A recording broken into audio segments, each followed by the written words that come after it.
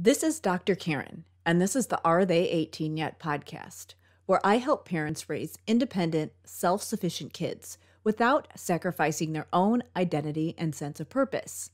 I'm here to share practical day to day solutions for raising kind, successful, well adjusted human beings and actionable advice for supporting systemic changes so we can make this world a more inclusive, accepting place now and for future generations.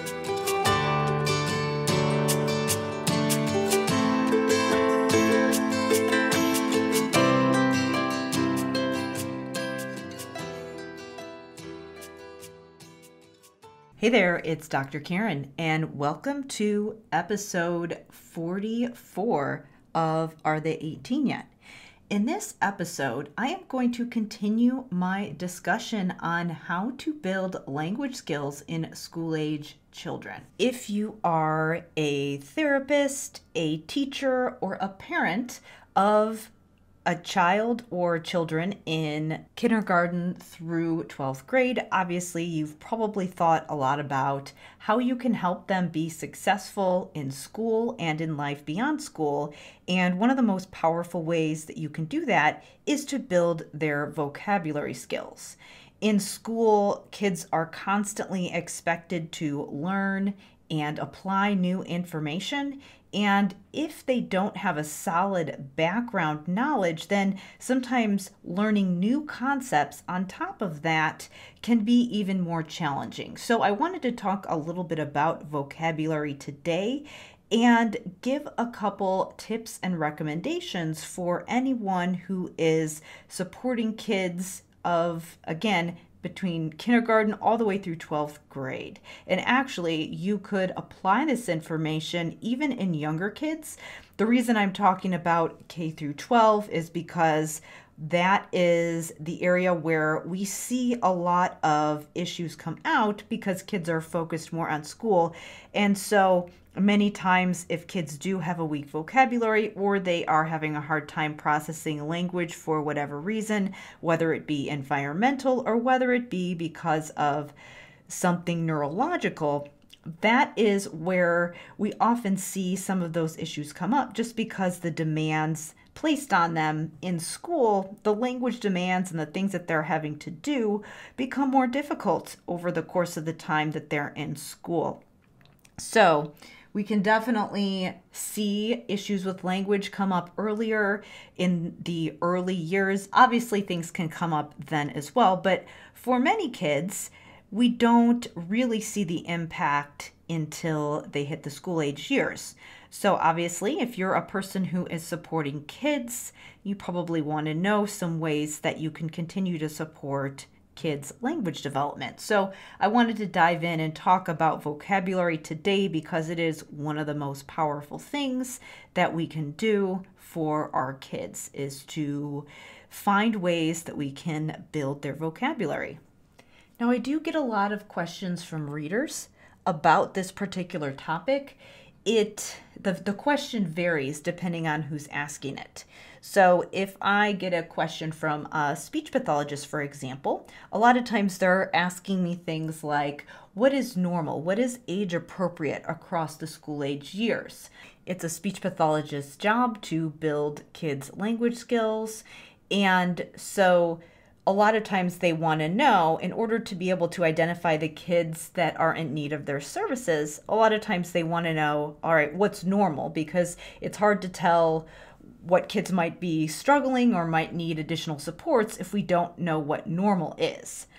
But there is a bit of an issue with that line of thinking which I'll get to in a few minutes but but really a lot of times what people want to know is is what what words should I be teaching kids across the the time that they're in school and how should I be doing it? And on the other hand, for teachers, I know teachers have specific curricular materials that they follow. So a lot of times the question of what words should I be teaching is a little bit different for them. I don't get as many of those questions from teachers. A lot of times the question is more, you know, what do I do for kids who are struggling? How do I know how to support them? What kinds of things can I do to accommodate them? And when should I make a referral? Those types of things. And then for parents, it's it's very different when parents ask questions because a lot of times it's more along the lines of just what am I supposed to be doing day in day out what should I do to make sure that my kids are successful so I am going to talk about what people can do from all of those perspectives today. I'm also going to share a resource for those of you who want to learn a little bit more about the process that I teach for speech pathologists. Again, if you're a speech pathologist, you will find it really useful, but anyone else, teachers, parents, other professionals, are welcome to check it out as well because I do think that it can be really helpful to know other people's role in the process so that we can all work together as a team. Before I get going in the discussion, I wanted to direct you to some resources if you want to learn a little bit more. So, I do have the main podcast page, which is drkarendudekbrannan.com. But if you are interested in learning some more specifically about language and literacy, then I invite you to check out my website that primarily has been designed for speech pathologists who want to support kids and improve their language skills, specifically across the K to 12 years. And that website is drkarenspeech.com. There is a blog section with all kinds of different articles and topics there. So if you're somebody who is just wanting to get some information about how to build kids' language skills, then definitely check out my blog. Again, that's drkarenspeech.com. Now, if you want something more specific, especially if you are a speech pathologist and you are looking for a framework for boosting vocabulary and specifically language processing skills that impact kids' ability to perform in school, then I invite you to sign up for my free online presentation where I walk you through my entire framework that I use for language therapy, but specifically, it is focused around building vocabulary that supports processing. And it's not just about just naming and identifying words. I do get into the specifics of how to work syntax and morphology and all of those other things that kids need in order to be able to process language and continue to grow their vocabulary skills across the school age years. So, to sign up for that free presentation, just go to Dr. Karen's speech backslash language and you'll be able to sign up and you'll get an in-depth explanation of the framework that I teach, the SLPs that I mentor. Again, that's drkarenspeech.com backslash language. Okay, so let's get going on this discussion about vocabulary. So, I'm going to go to the question that I often get from speech pathologists, and that is what is normal and age appropriate when it comes to vocabulary across the school age years. Again, they want to know this information because they are required to evaluate kids to determine who is in need of services. And it's hard to determine who needs help if you don't know what normal is. And I'm using the word normal with air quotes because, well, you'll see in a minute. So, the problem with that is that while it is relevant to have kind of a, a benchmark starting point to figure out all right what are we expecting what are the expectations because if we had nothing if we had no curricular standards then we would have a really hard time to tell if somebody is not on track. And it would also make it really difficult for teachers to be able to plan their curriculum. Now, of course, the downside of that is that the normal range is so broad. So when you're going to say this is the standard, of course, there's going to be a wide amount of variance. But again, even with a lot of those curricular standards, there is kind of a wide range of, okay, this is the average. But if you have kids who perform a little bit below or above that average, that might be totally fine. And yes, if they are way far away from the average or the average range, that is typically, you know, something that you'd want to look into because there's a lot of reasons why that may happen, but that is to be expected that there is going to be some variance. But with language and vocabulary, the reason it's so challenging to be able to tell what words are age appropriate and, a, and relevant for kids at a certain age is because vocabulary knowledge is so dependent on environment and exposure. And there was a language researcher that did some seminal work back in the 70s, and his name is Walter Loban, but he did a study on language development across the K 12 years and just looked at a group of kids. And one of his main conclusions from that study, he did find a handful of language skills that did have some linear growth that, that did tend to be indicative of overall language performance. One of those things was syntax development, so how well kids were able to use complex sentences in their oral language and their writing. So that was one thing that they did find. But for a lot of the other language skills that kids need when it comes to school, especially things like vocabulary, there just wasn't a clear, like, this is what kids should be doing at first grade and second grade and 12th grade. So one of the things that he concluded was that it's almost dangerous to create some kind of a developmental milestone chart to say this is what is normal at each age.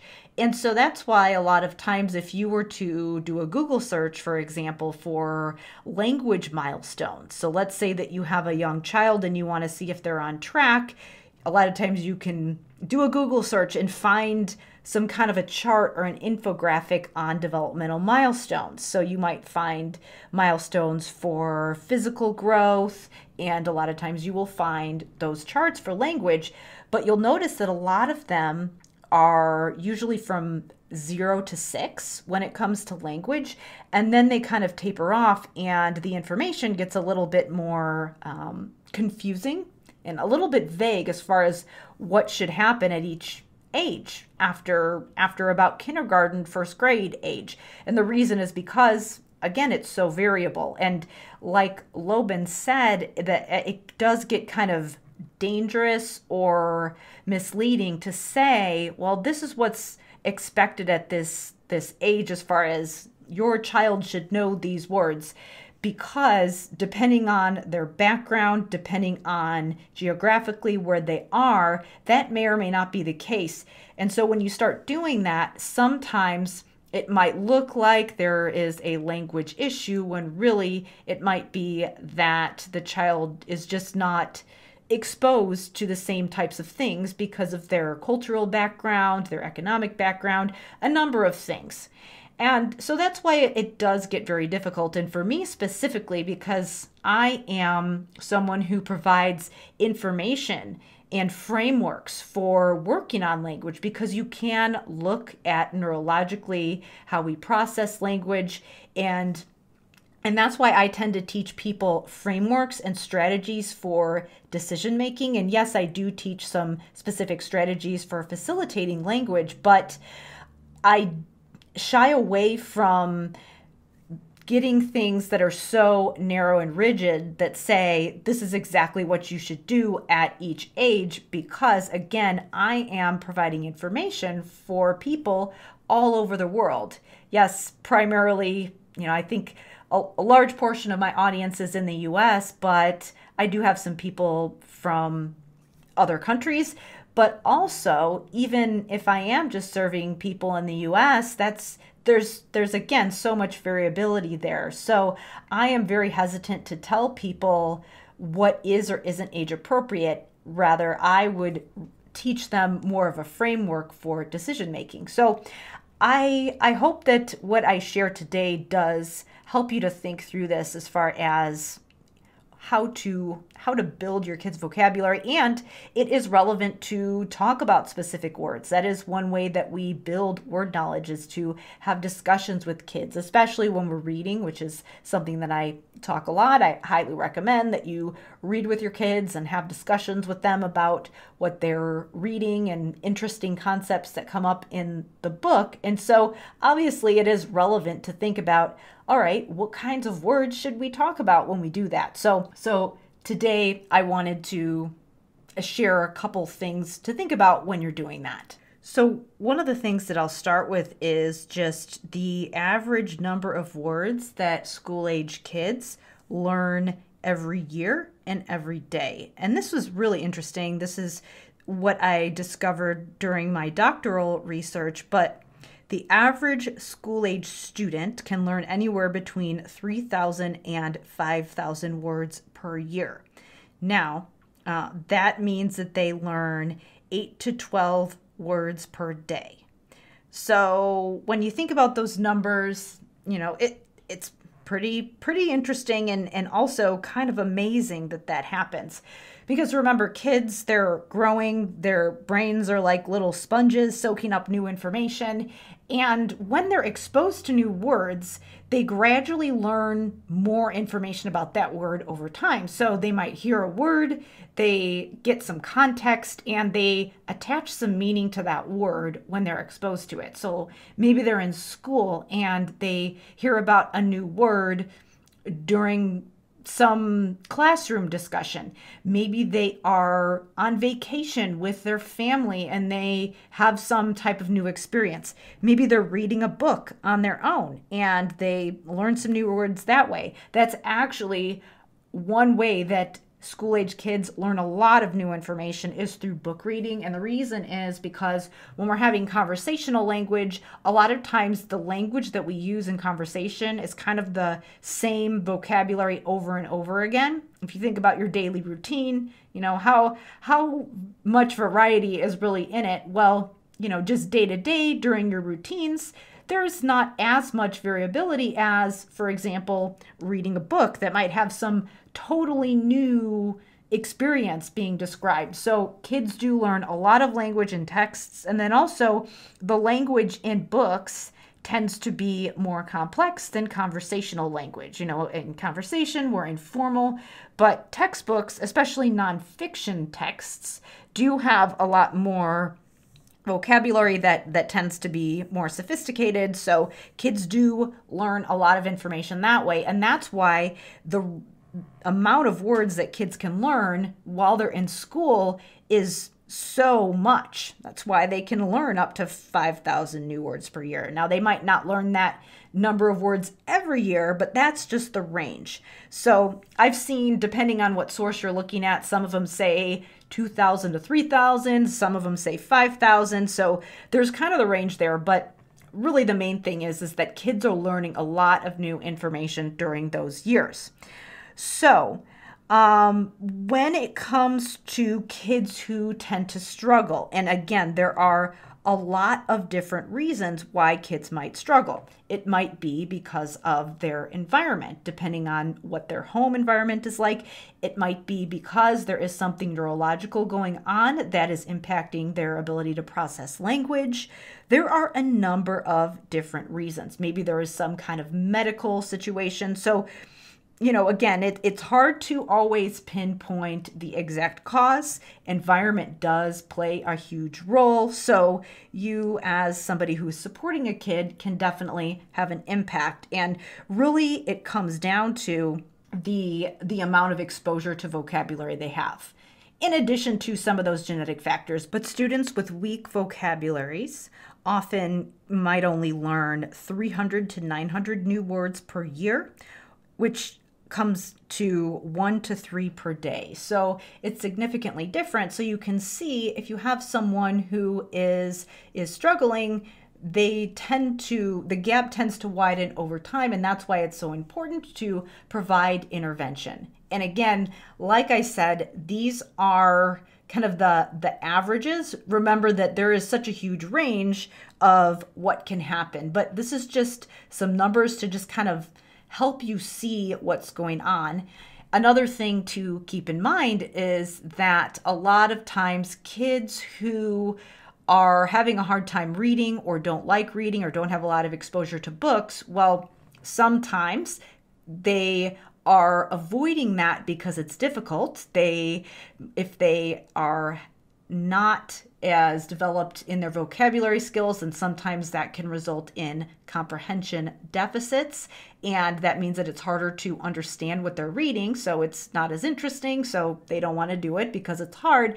But then, since they're not reading, they're not getting that opportunity for exposure. So that's why there is that Matthew effect with vocabulary, where it's kind of like the rich get richer, the poor get poorer. So it is really important to provide those opportunities as much as possible to get that exposure to language. And again, as I've said before, one of the number one things that we can do is provide a lot of exposure to book language, not just devices, not just something reading to a child while they're distracted and doing something else, even though I do think audiobooks can be a good option, but actual exposure to text language, especially some kind of interactive format. You know, a, a, parent, an older sibling, some kind of a peer buddy, someone who's working with them at school, reading with them, and and even just fostering a love of reading that can make a big difference as well. But then the question becomes okay, I'm reading with my kid. What words am I supposed to be emphasizing? And how do I know what is a good word to discuss with my kids? So I wanted to talk a little bit about the framework of tiers of vocabulary that was originally brought to my attention in the book Bringing Words to Life by Isabel Beck, Margaret McKeown, and Linda Kucan. And this is a framework for organizing vocabulary words that helps teachers and it also can help other professionals like speech pathologists to figure out what words should be emphasized in English and language arts curriculums. So, I'm going to explain this framework. I know that a lot of my SLP listeners might be familiar with it. If you are a reading teacher or a general education teacher, you might be familiar with it as well. And then I'm going to talk a little bit about how everyone can use this framework depending on whether you're a therapist, a teacher, or a parent. And again, then I'll talk about what you can do to get more information from here. So, there are, according to this framework, there are three different types of words. So, there's three tiers. So, there's tier one, which are words that tend to be conversational, that most kids tend to know. They just kind of figure out what these words mean just by general exposure and basic conversation. So, things that they might encounter in their day to day life, like, you know, words to describe clothing and animals and you know, pencil and dog, like those types of words would be tier one words, words that just come up in conversation. So we don't really need to spend a lot of time emphasizing or teaching those words to kids because they already know them, they've already got them figured out for the most part. So unless you have a child who has pretty significant needs as far as communication, you know, if you have a child who is you know participating in the the regular curriculum with their peers then then typically tier one words are are things that they're able to catch on to. And again i'm talking about for the majority. Of course there are unique outliers and things like that. So that's what tier one is.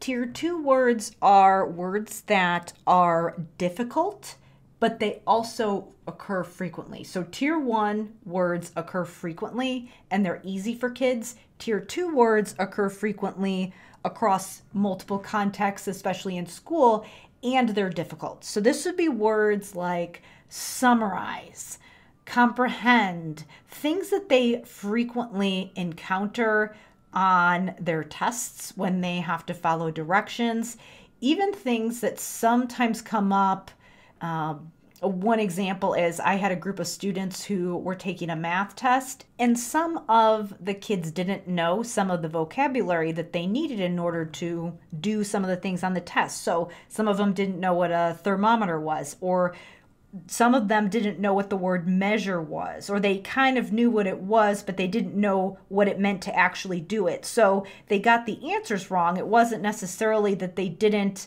understand how to do math. It's just they didn't know what that vocabulary was. So, again, this is why I say language can really impact kids across the board in school, even the classes that aren't explicitly focused on language. So, those words that I gave, those examples, thermometer, measure, well, those are also words that would be relevant for a child to know just in their day to day life. And those are things that might happen frequently just in their daily environment. And also, especially when they're in school, some of those words might be things that they have to do over and over again on tests and things like that. And I actually have a handful of tier two word lists and examples on my website if you check out some of my vocabulary articles. But but again, the the thing to recognize here is that it's words that tend to be a little bit more advanced.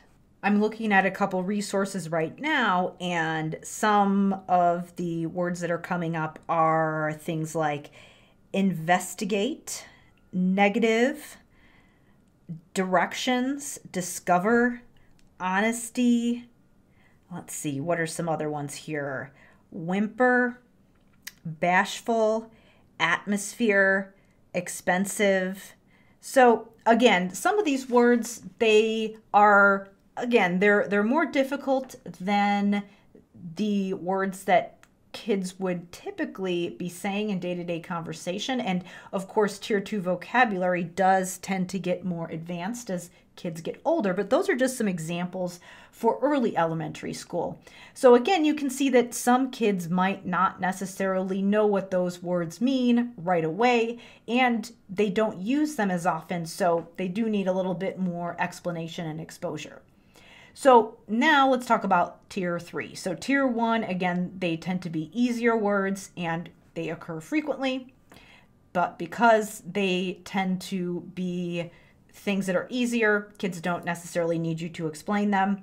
Tier two words also occur frequently, but they are a little bit more difficult. So, as far as being relevant to a kid's environment, they're definitely relevant, but but they do require that you need to explain them a little bit more. Now, tier three words are words that are difficult, but they don't necessarily occur frequently in the child's environment, and they tend to be a little bit less practical. So these would be things that are super specific to the content areas. Now, I know I gave a math example, but a lot of those words that I mentioned for math are things that would be relevant in your day to day life.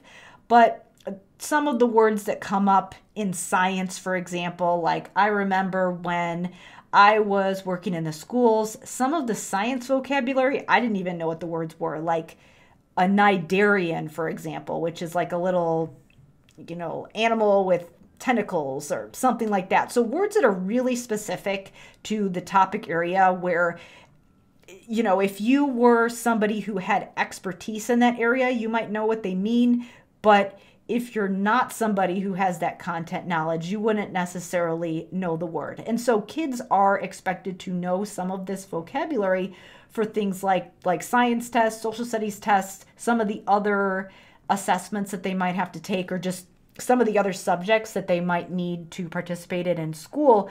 But as you know, a lot of the things that you probably learned in school, maybe you're not applying them in, your day-to-day life.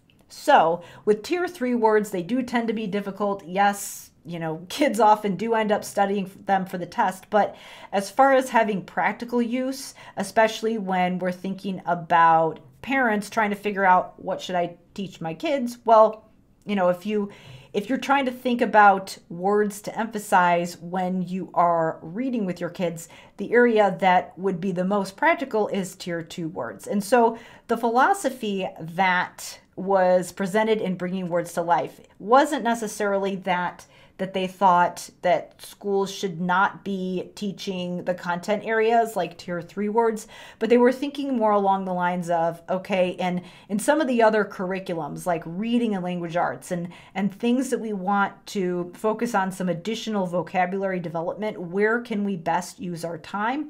Well for those situations the type of words that they recommended were tier two words. The reason is because they're frequently occurring and they're difficult. Tier one, obviously, because they're not difficult. That one's less of a priority for the intensive instruction and attention. Tier three, yes, they're relevant when you're teaching the content areas, but beyond that, they're not as practical. So even though they're difficult, they just aren't as useful in day to day life. So the one that makes the most sense to prioritize is tier two words. And for my speech pathologists who are trying to think about what they should incorporate into their therapy, I often recommend that they do think about tier two words, but it doesn't make sense for them to be focusing on teaching all of the tier two words that kids might necessarily need at that grade level. They might want to prioritize just a couple of them that they think will be really useful and then focus their therapy more on teaching strategies. And again, I do talk about how to study words and teach kids to have more strategies for learning new words in my online presentation that I mentioned. So, really, there's this balance between okay, we do want to teach kids words directly. Teachers do that a lot. Speech pathologists can do that a lot in their sessions, but really, we also want to think about how we can help kids just pay attention to the language that they are seeing and figure out ways that they can, you know, figure out how to how to learn new words on their own because ultimately we want to give them a strategy for thinking about language and paying attention to language because that's what's going to help them to grow in the long run. Now, when it comes to what parents can do, because I do get that question a lot, I get that question from parents directly, and then I also get that question from my speech pathologist that I mentor as well because they want to work with parents and figure out okay, what should I tell the parents to do at home? So, like I said, I do have some frameworks for speech pathologists to follow in their therapy, but as far as what parents can do at home, again, as I've said before, if you want to do one thing right away, it is make sure that you are reading with your kids on a regular basis. The thing that most schools recommend is the 20 to 30 minutes a day, like four to five times a week. Obviously, it's better if you do it every day, but I know that sometimes teachers will say four to five times a week so that people take the weekends off or whatever. So it's more attainable for people because, again, it's better to be consistent than try to overwhelm yourself. So just reading with kids alone is going to make a big difference. But if you wanted to get more specific, and take it to the next level, then what you can do is not just read with your kids, but also pick out cool words that come up while you're reading and talk about what they mean. So, again, some of those tier two examples that I gave, if you see a word that you think, oh, that's an interesting word, it's a little bit more advanced, I wonder if my child knows what that means. Maybe just stop and have a discussion about it, like, oh, do you know what that word means? Or, oh, this was this thing that happened was fascinating. What are some other things that are fascinating? And just have a brief conversation about the word. Sometimes you can explain what the word means, sometimes you can just discuss it. Both of those things can be things that help your kids. And something else that you can do as well, you can do this while you're reading, but you can also do this just day to day, is just intentionally use more advanced words that you know that your kids may or may not know and just see if they're paying attention and and just you know use the words and use it as an example to see if your kids look at you and say what? What does that mean? And then you can just have a conversation there. So think about ways you can incorporate it into your day. I am a fan of you know of course i do recommend doing some specific exercises, but I'm even more of a fan of doing things that you can integrate into routines that you're already doing because ultimately that can make things easier to stick with because parents are overwhelmed. You already have this other homework that you have to do with your kids. I don't like to give things above and beyond what people are already doing because people are, you know, uh, things can be overwhelming as just in general when you have a school age child or children. So, like I said, the reading and then just figuring out how I how can I find opportunities in my day to day life to just expose my kids to interesting language. Obviously, you can do this through experiences, but you know, you don't have to travel to all kinds of places to do this. You can do this in your home environment. So, you know, you can even do it if you're watching a movie together you know, again, of course, I recommend that you want to make sure you get the print exposure in addition to the device exposure, but there's nothing wrong with watching a movie, and, and that's a good time to have discussions as well when you're viewing different media and things like that. So, those are my recommendations. And again, if you are a professional and you do have some tier two word list examples. I know a lot of the professionals who are listening might already be familiar with that framework, helping parents to understand what that is. Because, you know, a lot of times, even though I do have some tier two word lists available, I use those word lists as an example and a starting point, not something that's like, you know, in first grade, kids have to learn all these words or else kind of a thing. So it's more of a starting point. And so going back to my initial conversation that I was having at the beginning about vocabulary growth being so variable. A lot of people will ask the question, what is normal vocabulary growth? What what are age appropriate vocabulary words and what words should kids know at this grade or age or whatever? A better question to be asking is what words are kids being exposed to? And so the way that I help people who are trying to figure out what's relevant to to helping kids uh, for speech pathologists i usually say let let's look at what kids are being exposed to in the curriculum so look at the tier 2 words that are being used in some of the materials that they're reading in school.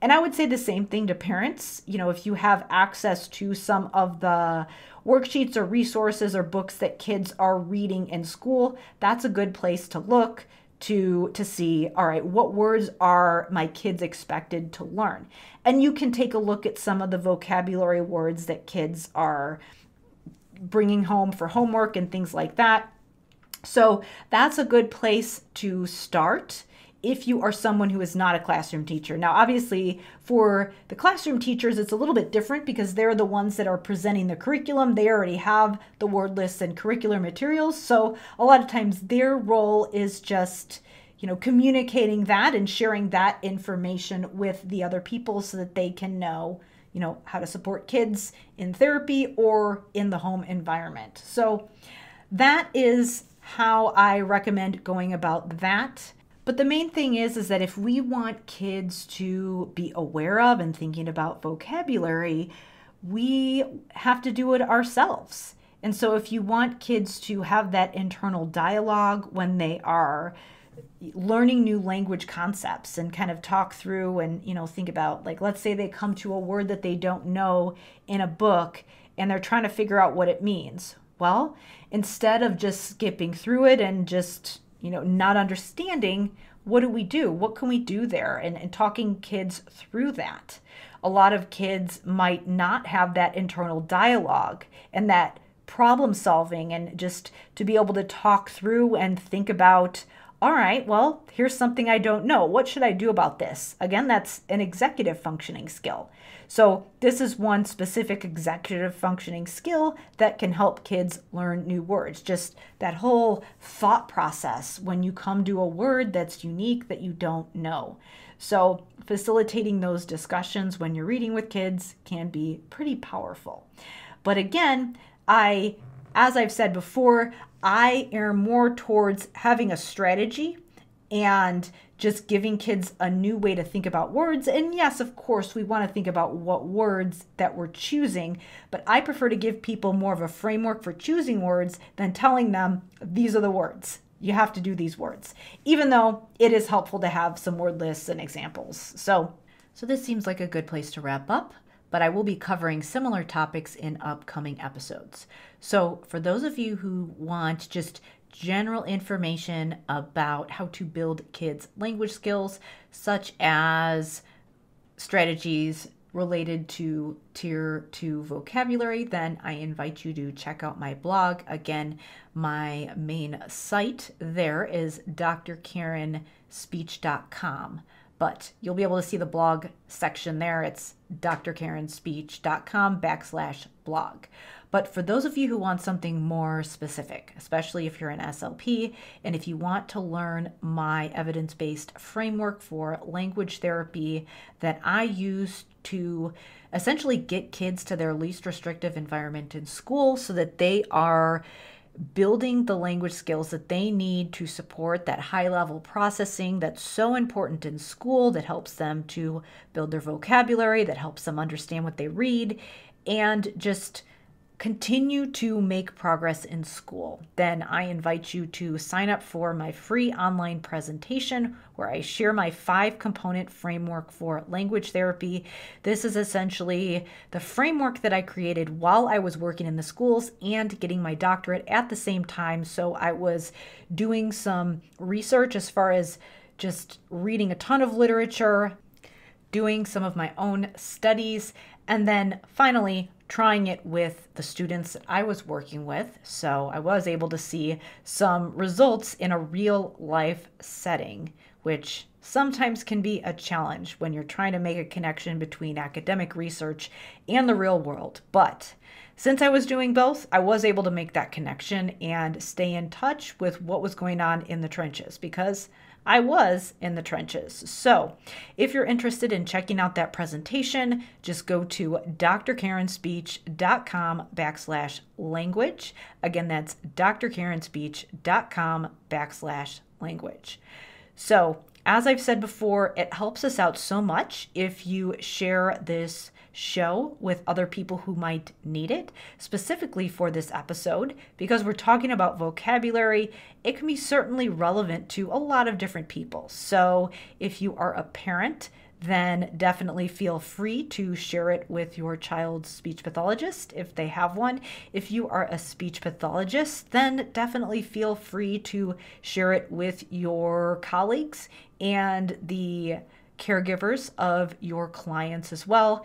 And then, of course, if you're a teacher, then feel free to share it with your colleagues and the caregivers of your students.